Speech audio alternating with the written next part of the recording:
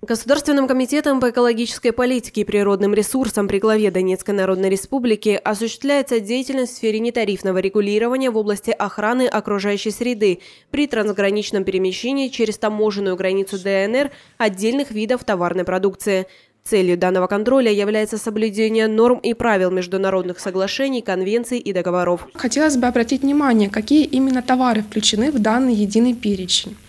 Это отходы производства и потребления, вещества, разрушающие озоновый слой, а также товары, которые могут или содержат данные вещества. Это средства защиты растений, которые ограничены к перемещению через таможенную границу Донецкой Народной Республики.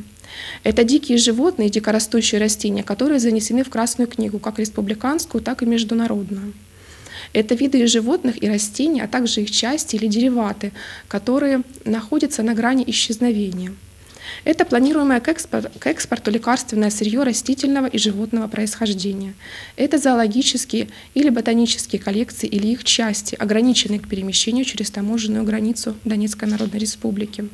Это минеральное сырье, информация о недрах, а также чрезвычайно опасные химические вещества, ядовитые вещества, э, продукты биотехнологии и биологические агенты, ограниченные к перемещению. При трансграничном перемещении через государственную границу Донецкой Народной Республики в отношении товаров, которые попали в данный перечень, Государственным комитетом по экологической политике и природным ресурсам при главе ДНР выдаются документы разрешительного характера. Алина Черняева, Владислав Лем, Новороссия ТВ.